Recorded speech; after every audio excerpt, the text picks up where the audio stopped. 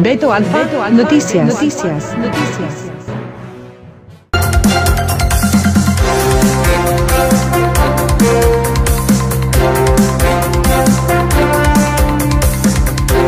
Hola, ¿qué tal amigos? Gracias por estar aquí en otro video más. Muy buenas tardes a todos. Oiga, el día de hoy el presidente Andrés Manuel López Obrador dijo en la mañanera que ya está listo el plan integral de desarrollo para el sureste de México y de Centroamérica. Ok, perfecto, está bien el sureste de México, pero ¿por qué Centroamérica? ¿Por qué el, el dinero y el plan cubre los países de Centroamérica? cuando debería abarcar toda la República Mexicana solamente, en el cual dijo que este plan de desarrollo eh, impulsaba la inversión y para crear empleos en Centroamérica y en el sur, sureste del país. Pero a lo que voy, ¿por qué el presidente López Obrador junto con Marcelo Ebrard hicieron ese plan que incluye a los países de Centroamérica con presupuesto mexicano? Porque en México hay 60 millones de pobres sin empleo, sin trabajo, sin un hogar, sin un sueldo digno, sin un trabajo digno, viene este señor López Obrador y con presupuesto de nuestro país eh, hizo un plan que incluye a tres países de Centroamérica. ¿Les parece correcto esto que hace el presidente Andrés Manuel López Obrador junto con Marcelo Ebrard? Ok, vamos a ver lo que dijo. Presidente, ¿nos podría dar un avance sobre la reunión que tuvo el día de hoy con el canciller Marcelo Ebrard sobre el tema migrante? Sí, pues eh, la reunión de hoy eh, trató sobre los temas que tienen que ver con la migración. Primero, lo del impulso al desarrollo. Ya se tiene el plan integral para el desarrollo de el sureste y de países centroamericanos. El plan para toda la región, para impulsar actividades productivas, crear empleos. Eh, ya tenemos ese plan, eh, lo vamos a presentar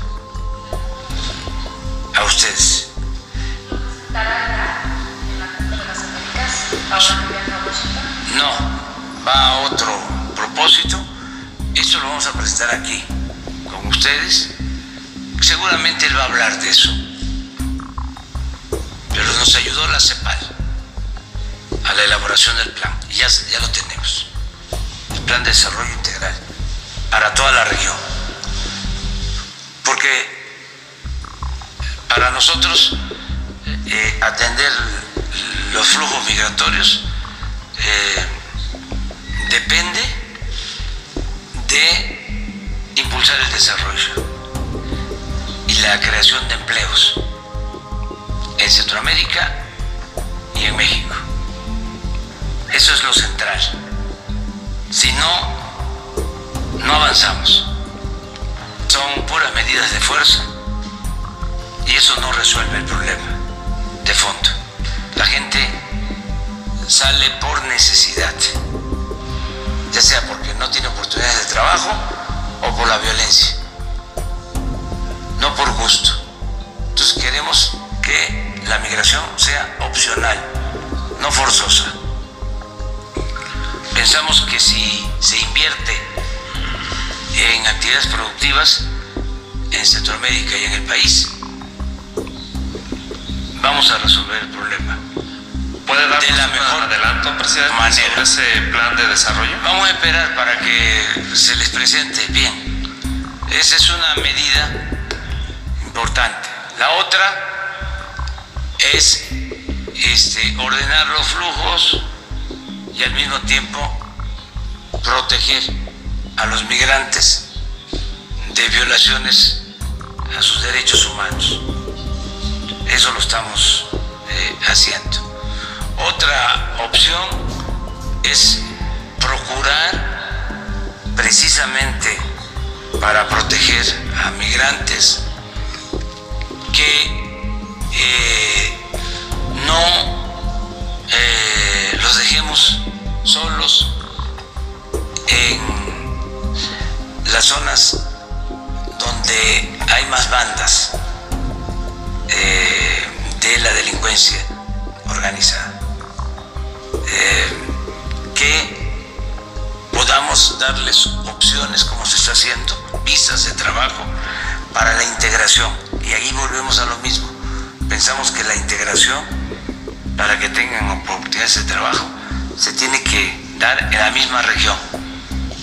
Pero hay que buscar los mecanismos para integrarlos, eh, sin quitarles su derecho de buscar asilo, de este, ir hacia Estados Unidos, eh, pero dar las opciones este, de integración a la actividad productiva en la región. Eh, ese es otro, otro eh, propósito.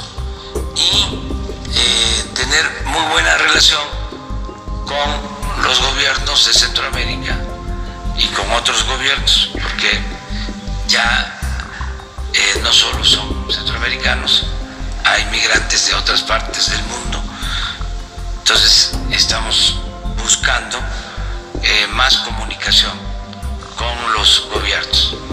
Eh, eso se trató el día de hoy y yo creo para la semana próxima, en una semana, 10 días, se les va a presentar a ustedes el plan de desarrollo para Centroamérica y para nuestro país con el propósito de crear oportunidades de trabajo eh, y atender el fenómeno migratorio.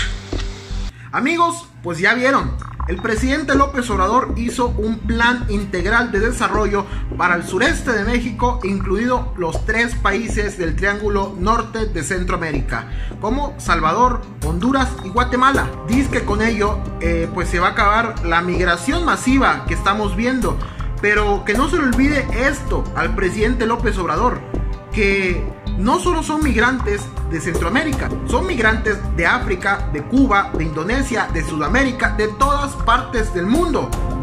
¿Ok? entonces, ¿cómo va a frenar esa migración? ¿Cómo piensa frenar esa migración si solamente no es de Centroamérica? Es de muchos países más. Y el trabajo va a ser para Centroamérica, para Honduras, Guatemala y El Salvador. Y claro, el proyecto está hecho con presupuesto mexicano en su mayor parte, señores. ¿Qué les parece? ¿Les parece correcto cuando hay 60 millones de mexicanos en nuestro país? Cuando hay millones de mexicanos sin un empleo digno en nuestro país? Cuando hay mexicanos sin un salario digno en nuestro país, sin atención médica, sin un techo digno, sin ningún apoyo de gobierno, ¿les parece correcto? Oiga, también se acuerdan que dijimos que teníamos las pruebas de cómo Rosalinda Hueso, la esposa de Marcelo Ebrard, estaba organizando estas caravanas de Centroamérica, ¿ok? Así que vamos a verlas y juzgue usted mismo. Regalárselo es, como que te lo regale a ti, ¿me entiendes? Acuérdate que muchas personas, muchos políticos siempre están en puestos así y siempre quieren, quieren aspirar más, entonces nunca hay que olvidar de dónde uno viene y para quién está trabajando uno. Entonces, ese es el significado de esta cinta. Sí, desde el momento que me contacté con el administrador del grupo, le dije quién era y cuáles eran mis intenciones. Fue por eso que yo mencioné que mi esposo es mexicano y que está apoyando a la caravana para que ustedes sepan que no soy cualquier persona y que no voy a incitar al desorden, a la violencia y que no voy a estar de acuerdo con ese tipo de personas que quieren involucrarse en la caravana. Yo soy una persona honesta y mi único objetivo es ayudar, ayudar a mi país, que es lo que me interesa. ¿Sí? Entonces por eso yo mencioné y dejé claro de quién era. Entonces, de mí no duden porque yo no soy una persona delincuente, no soy una persona que les va a pedir dinero, una persona que se va a aprovechar de ustedes, eso no está en mis planes. No soy una persona así. Mi esposo tampoco no tiene necesidad. Él es una persona americana. Él conoce de las leyes. Él forma parte del gobierno mexicano. ¿Y por qué México está tan interesado en ayudar a Honduras y a todos estos países. Esa es incógnita que ustedes todavía no han entendido.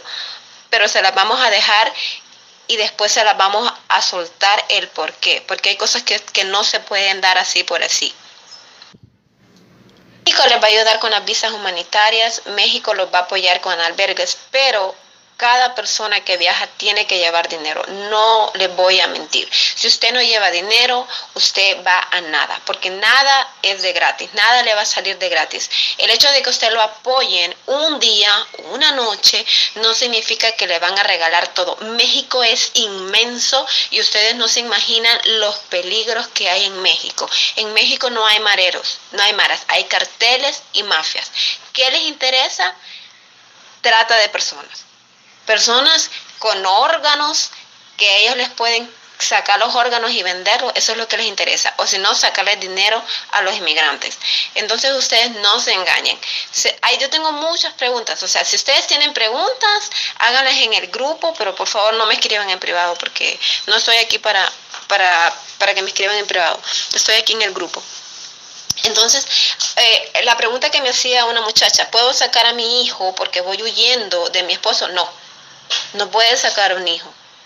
¿Por qué? Porque para sacar un hijo tú tienes que llevar el permiso del padre y madre, consentimiento. Ahora, si tú tienes pruebas del juzgado, sí. Si puedes demostrar que estás bajo amenaza del padre de este hijo. Segundo lugar, eh, ¿hay que llevar dinero? Claro que hay que llevar dinero. Tenemos que llevar dinero. Bueno, yo no voy a viajar, de hecho lo aclaro. Solamente estoy organizando. Se lleva dinero, se llevan pastillas, se llevan medicamentos, se lleva ropa, lo necesario, se llevan eh, medicamentos para los pies, porque sí se hacen muchas ampollas, y, lo que deben de usar son tenis. Eh, entre otras preguntas que me están haciendo y que estoy tratando de, de contestar. Ahí lo tienen, señores. Ya oyeron las palabras de esta señora, la esposa de Marcelo Ebrard, de nuestro secretario de Relaciones Exteriores de México. Cómo organiza desde Honduras, organiza estas caravanas para que las personas emigrantes se vengan a nuestro país. Así como también dice que ellos no saben cuál es el objetivo del gobierno mexicano y el interés por ayudar a personas de Centroamérica. Esto está un poco turbio, como ella mismo lo menciona, es algo incógnito, es algo raro del gobierno de México. Así que ustedes dirán, déjenos sus comentarios, ¿qué opinan sobre esto? ¿Qué opinan de que Rosalita Bueso esté apoyando, esté organizando las caravanas de migrantes de Centroamérica? También ustedes qué opinan de que Andrés Manuel López Obrador, el presidente de México, haya hecho un plan integral de desarrollo para Centroamérica con presupuesto de la mayor parte de México. Ya vieron, no lo, no lo digo yo, lo dicen ellos, señores, lo dicen ellos, el mismo gobierno y las personas del gobierno lo dice. Así que ustedes mismos juzguen, déjenos sus comentarios qué opinan. ¿Por qué el presidente Andrés Manuel López Obrador está dándole preferencia a los centroamericanos que a los millones de mexicanos en la pobreza extrema? Gracias por estar pendiente, gracias por seguirnos siempre. Si no te has suscrito al canal, suscríbete ahora para recibir la verdad de las noticias. Lo que no dicen muchos, lo que no te dirán en los canales de izquierda. Así que suscríbete, dale like para que más mexicanos se enteren de la verdad y estén informados de lo que está pasando en el gobierno de México. Muchas gracias y nos vemos en el siguiente video.